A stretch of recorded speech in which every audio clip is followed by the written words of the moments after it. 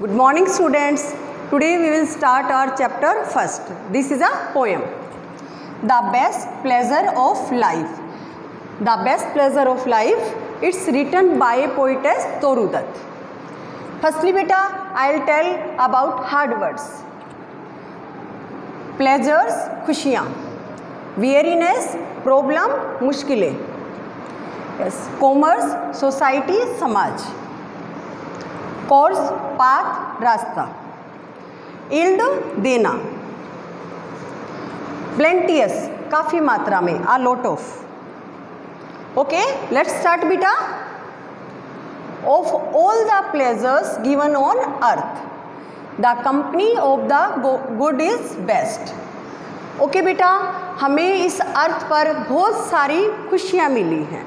हमें इस अर्थ पर बहुत सारी बड़ी, अच्छी खुशियाँ मिली है। बट सबसे बेस्ट खुशी किस चीज़ की है? कि एक अच्छे इंसान के साथ हमारी दोस्ती। मीन्स अच्छी संगत। तो हमें एक नोबल पर्सन की संगत में रहना चाहिए।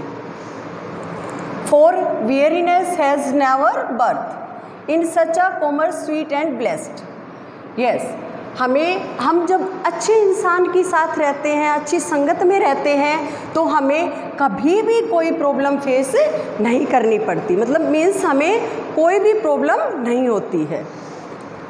In such a commerce sweet and blessed means उनकी सोसाइटी में जब हम रहते हैं तो हमें स्वीटनेस मिलती है ब्लेसिंग्स मिलती हैं। We will get a sweetness and blessings in our life so we should live with a good friends and maybe are noble friends. The sun runs on, the sun runs on its wanted course. Yes. जैसे हमें अच्छे इंसान के साथ रहने से हमें कोई प्रॉब्लम फेस नहीं करनी पड़ती हमें we will get the blessings and blessings and sweetness in our life ऐसे ही सन क्या है वो अपने पथ पर चलते रहते रोटेट करता है ऐसे ही बेटा वो हमें न्यू होप देता है the earth it's plenteous treasure yield और अर्थ क्या है? वो भी हमें काफ़ी मात्रा में उपहार देती है गिफ्ट्स देती है।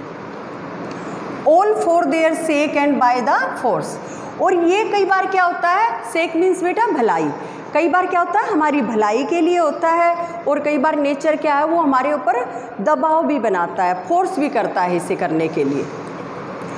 Their prayer all for their sake and by the force. Their prayer united ever builds और बेटा, उनकी प्रेयर होती है, वो हमें एक साथ बाँध कर रखती है और हमें आगे बढ़ने के लिए प्रेरित करती है। Yes o let me let me ever dwell in this stanza बेटा पोइटस इज़ सेइंग कि ओ लेट मी मुझे ले चलो लेट मी एवर ड्वेल जहाँ वो रहते हैं। Amidst the good where there it be. उन लोगों के बीच में ले चलो मुझे जहाँ पर वो रहते हैं। इट डजेंट मैटर कि वेयर दे ली वो कितना दूर रहते हैं बट मुझे उन लोगों के बीच में रहना है।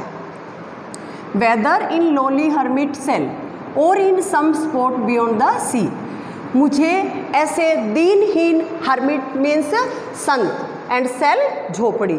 मुझे दीनहीन संत या वो झोपड़ी मतलब वो गरीब हैं झोपड़ी में रहते हैं बेटा साधु संत हैं या फिर वो समुद्र के पार रहते हैं। मुझे उन लोगों के साथ रहना है और मुझे उन लोगों के बीच में रहना है।